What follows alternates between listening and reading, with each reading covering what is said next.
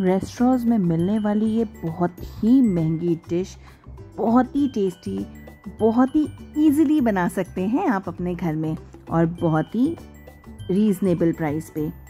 Hummus and pita bread जो कि बहुत ही यमी होती है और बहुत ही महँगी मिलती है ये डिश चलिए बनाते हैं आसानी से।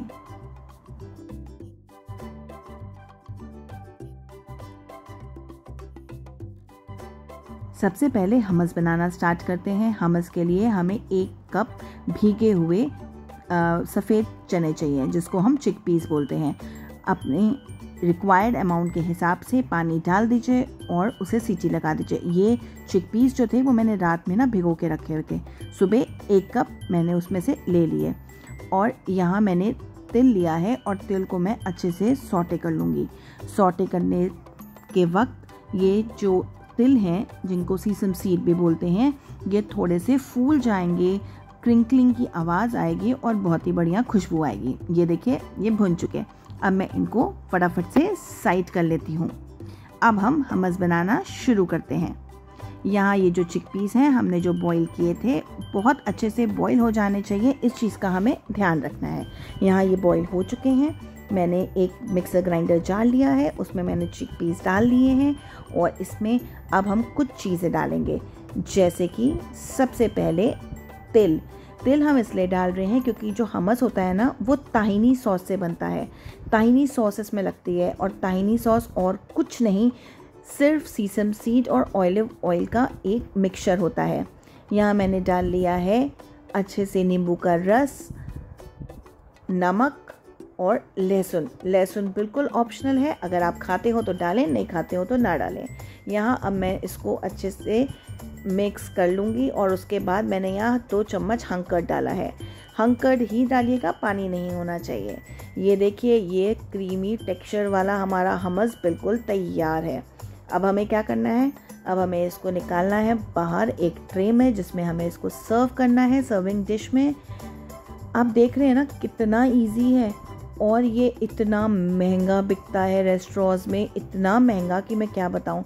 बिकॉज़ ये एक बहुत ही फ़ेमस मिडल ईस्टर्न डिश है, जो कि बहुत ज़्यादा चलती है। और इसको बनाना तो एक बच्चा भी बना सकता है। यहाँ मैंने इसमें अच्छे से दो चम्मच ऑलिव ऑयल ऊपर डाल दिया है। बस इस चीज़ का ध्यान रखिएगा olive oil is must olive oil से ही हमस बनता है। ऊपर मैंने हल्की सी लाल मिर्च छिड़क दी है। यहाँ मैंने एलोपिनोज डाल दिए हैं।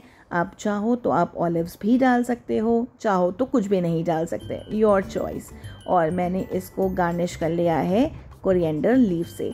और हमारा टेस्टी टेम्पटिंग हमस बिल्कुल तैयार है। Hummus is eaten throughout the western Asia and all the Arabs ये उनका बहुत ही फेवरेट डिश है।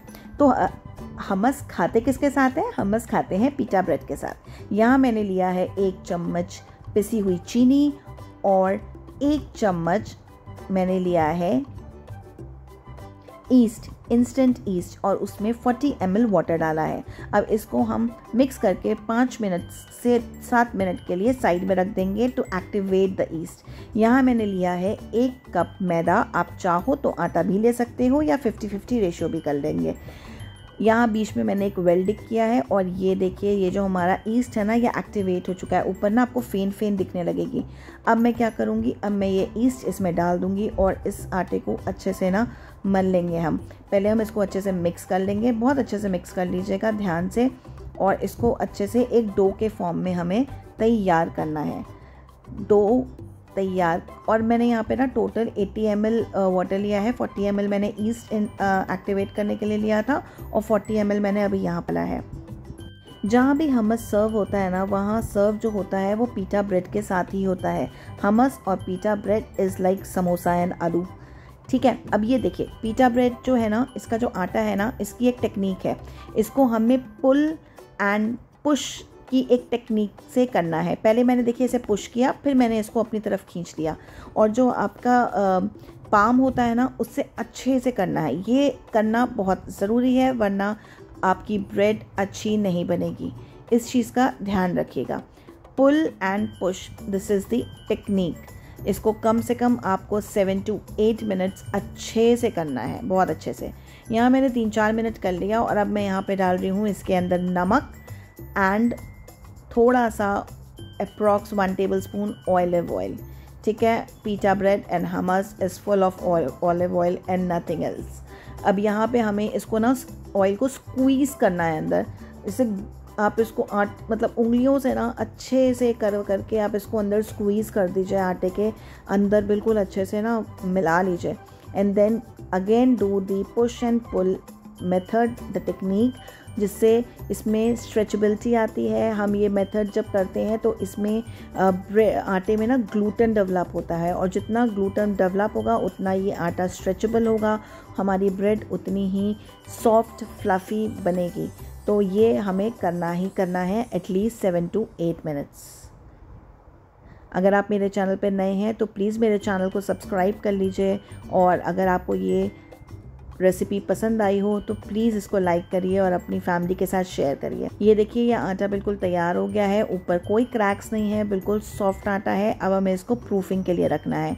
मैंने ये बोल लिया है। बोल में अंदर हल्का सा ऑयल लगाया है और ये मैंने आटा रख के डो रख के इसको ढक देंगे for approx one hour one after one hour ये देखिए, ये आटा जो है अपने साइज़ से डबल हो गया है। जितना मैंने रखा था, उसका डबल हो गया है। अब हमें यहाँ पे दूसरी टेक्निक करनी है। नॉक नॉक यानी कि हमें इसे ज़ोर से नॉक करना है और इसमें जितनी भी एयर थी हमें वो बाहर निकाल लेनी है। अब हम इसको वापस से बाहर निकाल लेंगे। पीटा ब्रेड में टू प्रूफिंग लगती है, एक प्रूफिंग मैंने कर ली है, अब दूसरी प्रूफिंग हम अभी करेंगे, अब मैं दिखाती हूँ कैसे। यहाँ इसको अच्छे से हम अब डालेंगे नीचे फ्लार ताकि जो हमारी ब्रेड है वो अच्छे से रोल हो सके। बिल्कुल बढ़िया से इसको एक लंबे रोल के फॉर्म में हम बना लेंगे। और जितनी भी हमें पीटा ब्रेड बनानी है ना, उतने हम इसके पीसेस काट लेंगे। कोशिश करिएगा इक्वल पीसेस हो तो आराम से बन जाएगी। थोड़ा सा वीडियो ज़रूर लंबा हो रहा है बट मैं आपको सारी ट्रिप्स एंड टेक्निक्स के साथ बता रही हूँ, क्योंकि अगर आप इस तरह से बनाएँगे तो फ़र्स्ट टाइम में ही आपकी पीटा ब्रेड जो है वो बिल्कुल परफेक्ट बनेगी। एक पोर्शन मैंने निकाल लिया है और सारा पोर्शन खुला मत छोड़िएगा, उसको ढक दीजिएगा, ढक के रख दीजिएगा। अब हम इसको बेलेंगे, थोड़ा फ्लार डालेंगे और इसको हम रोलिंग पिन के साथ अच्छे से बेल लेंगे। मैं थोड़ा सा इसको ओवल शेप में दे रही हूँ बिकॉज़ मैं कुछ पीटा ब्रेड की स्लाइसेस बनाऊँगी और कुछ मैं पीटा पॉकेट्स बनाऊँगी। पीटा पॉकेट्स के लिए भी मैंने फलाफल तैयार करके रखा है। अगर आपको जानना है कैसे तो उसकी लिंक मैं डिस्क्रिप्शन बॉक्स में डाल दूँगी। यहाँ मैंने देखिए बटर पेपर पे हर एक जो ब्रेड, जो मैंने स्लाई, ये बेली थी ना, इसको मैं प्रूफिंग के लिए मैंने 45 मिनट्स रखा है। और उसके बाद अवन में मैंने इसको हाईएस्ट टेम्परेचर पे, जो कि मेरे अवन का 230 था, उस पर रखा फॉर 10 टू 15 मिनट्स। यहाँ ये देखिए फूलने लगा है और अब मैं इसको तवे पे भी फुला रही हूँ। जैसे ही आप पिटा ये जो बेला है, आपने पीटा ब्रेड, इसको जैसे ही आप रखोगे ना बिकॉज़ ये इतना फ्लफ़ी है और इतना इस, ये अपने में प्रूफ हो चुका है कि ये बिल्कुल आराम से फूल जाएगा। आपको बिल्कुल मेहनत करने की इस पर ज़रूरत नहीं पड़ेगी। ठीक है? अब मैं क्या करूँगी? एक मैंने लिया है पीटा ब्रेड, इसको मैं स्लाइस करूँगी। हमस के साथ ऐसे ही डिप्स करके खाने के लिए, ठीक है? मैंने यहाँ पे सीज़र का यूज़ किया है, आप नाइफ़ का यूज़ कर सकते हैं पिज़्ज़ा कटर का यूज़ कर सकते हैं, किसी भी चीज़ का यूज़ कर सकते हैं, जिससे आपका अच्छे से कट जाए। ये ऐसे करना है बट मुझे आप प्रॉपर सीज़र सही लगा तो मैंने उसी से कट कर लिया। ये देखिए, मैंने यहाँ ट्रायंगल नाचोस की तरह इसको कट कर लिया है, और ये हमारी पीटा ब्रेड विथ हमस बिल्कुल तैयार है। मार्केट स्टाइल, रेस्टोरेंट स्टाइल बिल्कुल ब्यूटीफुल एंड यमी अच्छा अब हम पीटा पॉकेट पे आते हैं। ये देखिए, ये पॉकेट हमने बीच में से काटा पीटा ब्रेड और ये ऐसे पीटा पॉकेट बन जाती है। अब हम इसमें क्या करेंगे? इसमें जो हमने हमस बनाया है ना, हम उसको अच्छे से लगा लेंगे। आप इसमें मयोनीज़ भी लगा सकते हो। आप इसमें कोई भी और एक्स्ट्रा इसमें कोई भी और डिप लगा यूज़ कर सकते हो। बट मैंने यहाँ पे ऊपर सिर्फ़ और सिर्फ़ हमस का यूज़ किया है। और इसके बाद मैं यहाँ पे डाल दूँगी फलाफल कबाब फलाफल कबाब बनाने की जो भी रेसिपी है, वो मैं डिस्क्रिप्शन बॉक्स में डाल दूँगी लिंक आप बिल्कुल देख सकते हैं। यहाँ मैंने डाल दिया है सैलड जिसमें मैंने डाला है cucumber and tomato and carrot इसको मैं अच्छे से कर लूँ फिल और यहाँ पे मैंने एक चीज़ और रखा है, वो की है एलापिनोज़ ठीक है, मेरे को एलापिनोज़ बहुत पसंद है, इसलिए मैं एलापिनोज़ हर जगह डाल देती हूँ। और ऊपर मैंने इसको ड्रेसिंग कर लिया है मयोनीस से। ये बिल्कुल ऑप्शनल है, आप चाहें तो करें, आप चाहें तो ना करें। Totally up to you and trust me it's look amazing tempting and खाने में तो उफ वेरी यामी बहुत ही अच्छा लगता है. अब आप समझ सकते हैं कि ये डिश इतनी महँगी मिलती क्यों है, क्योंकि ये होती यमी है और थोड़ा सा जनरली आपको हर जगह नहीं मिलती इसलिए. सो ये चाहे आप पीटा नाचो स्टाइल से काट के खाएँ या पीटा पॉकेट बना के, बहुत ही यमी बनेगी.